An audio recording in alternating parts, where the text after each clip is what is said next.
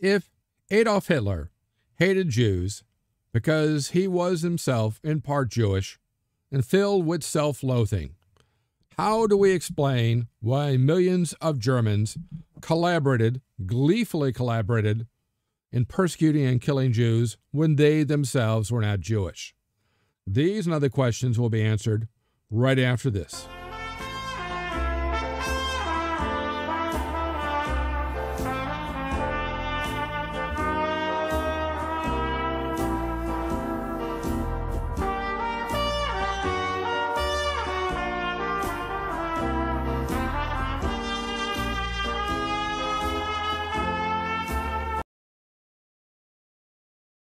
I'm Professor Jerome Arkenberg, and I've been teaching a wide variety of history courses at colleges across this country for the past 30 years.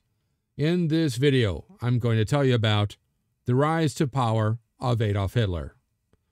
Hitler and other Nazis' ideas, including that of anti Semitism, and a brief look at the Holocaust. At the end, I'll have the wrap up quote on this video. But first, make sure to click like, share, especially subscribe, and that little bell thingy so I can continue to bring you more great videos just like this one.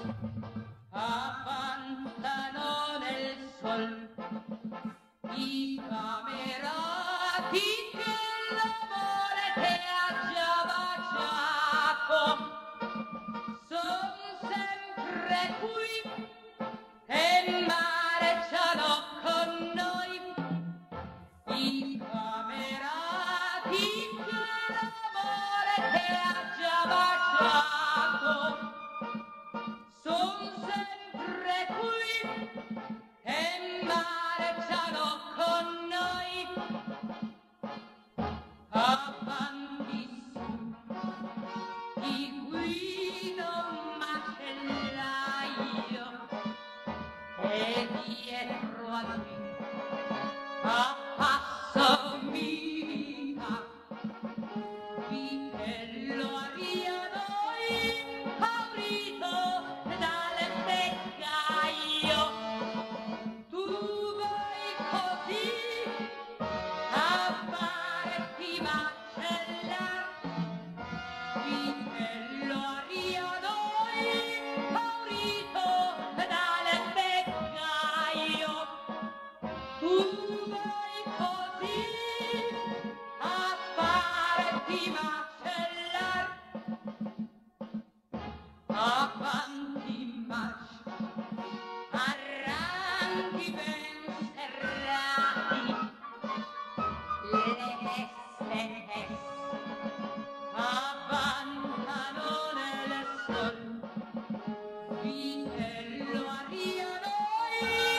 Adolf Hitler, born in 1889, committed suicide in 1945, was born in Austria. He himself was not actually German. He was the son of a customs official, and despite many modern reports trying to explain his racial views, was neither Jewish, gay, or anything else, other than a hateful German. Excuse me, Austrian. After his father's death, he moved to Vienna in 1909, attempting in vain to be admitted to the Imperial Academy of Art there. And here we see three of his paintings. Makes you wonder if only the Imperial Academy had accepted him and encouraged his art. Would World War II and the Holocaust ever have happened?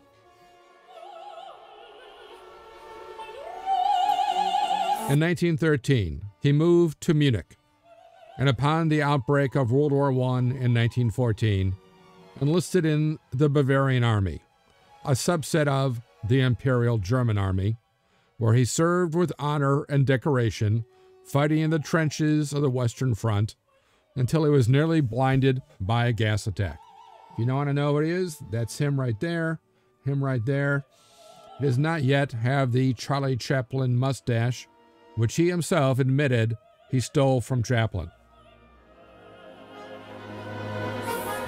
After the end of the war, infuriated by Germany's surrender and humiliation at the Treaty of Versailles, Hitler joined. He did not found, he did not start. He joined the nascent National Socialist German Workers' Party and quickly rose to leadership due to his charismatic personality and dramatic oratory, which he practiced over and over again, as seen in these pictures, which are all of him practicing.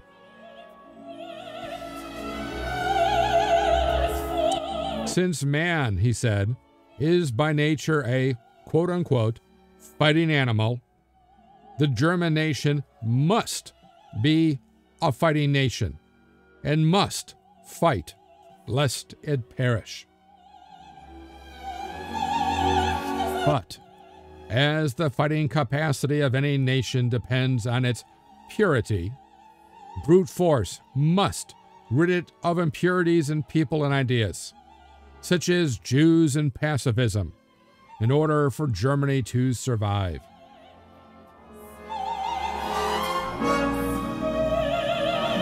So, he promised socialism for the workers. In fact, he was instrumental in having the term socialist added to the name of his party.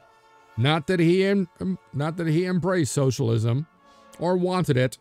He said himself it was simply a way to delude the masses into joining his party. So he promised socialism for the workers, kind of, anti communism for their capitalist bosses, romantic nationalism and authoritarianism for German conservatives, and anti Semitism as a scapegoat for the loss of the war and the economic disasters of the 1920s. Hitler's energy and intuitive mastery of media politics allowed the Nazis to gain support by promising both nationalization and the protection of private ownership. Yes, it doesn't make sense. It's mutually uh, antagonistic, but remember, fascism doesn't actually have to make sense. He also stressed industrial might, but also the virtues of rural life and emphasized the necessity of taking both radical and conservative measures.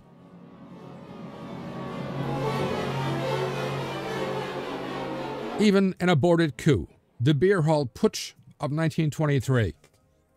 Seen here, of course, in a painting, Hitler and his plotters, including General Ludendorff of the German General Staff. Here's Hitler 1923, and here is a picture of the putsch in action with the troops about to put it down. Anyway, this failed. Hitler was convicted and imprisoned, but this failed to tarnish the movement, which, however, struggled to gain mass acceptance until the Great Depression propelled Hitler into power, the only fascist dictator popularly elected in a free election.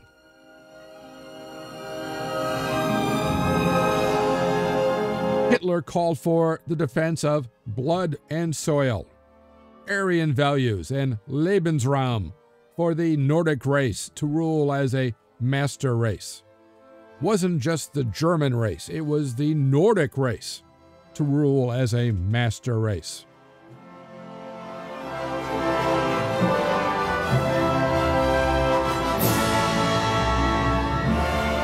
Here we see a map of the Jewish population's distribution when Hitler came to power in 1933. This is because genocidal anti Semitism became the dominant element in Nazism, which differs from most other fascisms, many of whom never advocated genocidal slaughter of the Jews. even here, here lots of many different tropes. the Jewish man trying to lure the poor chil- good trying to lure the good German children into doing ooh, all sorts of unspeakable acts. Of course, oh look, Jews don't swim here.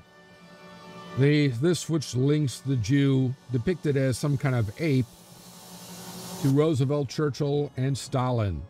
Of course, here a very popular game in Germany during the 1930s, Judenraus. See how quickly you can drive the Jews out of your neighborhood.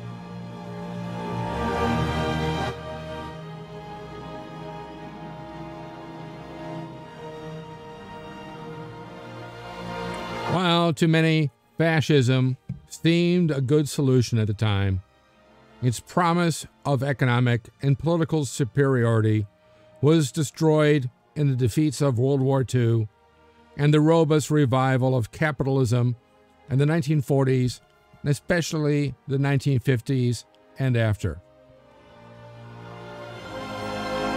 But has Nazism really been consigned to the ash heap of history?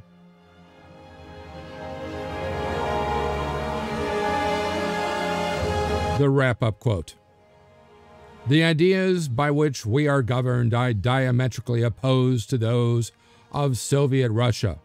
National Socialism, is a doctrine which applies exclusively to the German people.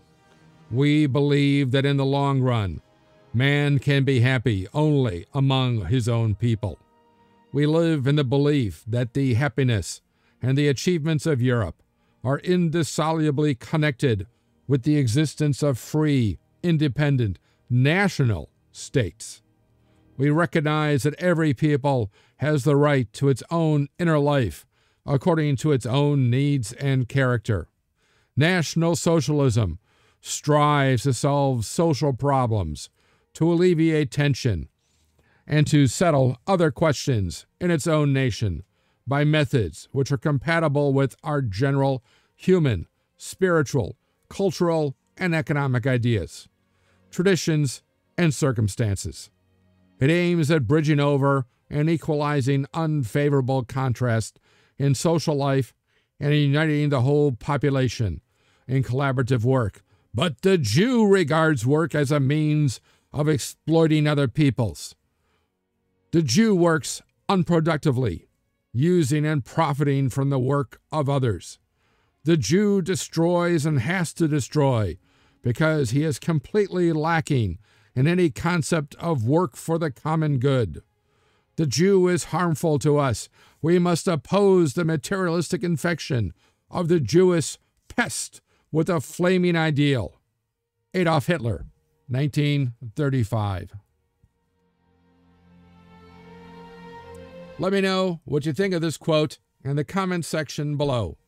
Also, what you liked about this video and what other historical topics or subjects you'd like to see in future videos. Be sure to click like, share, and especially subscribe, as it will help me bring you more great videos just like this one. And click on that little bell thingy so you'll know when the next History Waits for No One video is posted. If you want to know more, there are recommended studies on this topic in the description below, along with other ways to connect with me. Thanks for watching, and I'll see you in the past.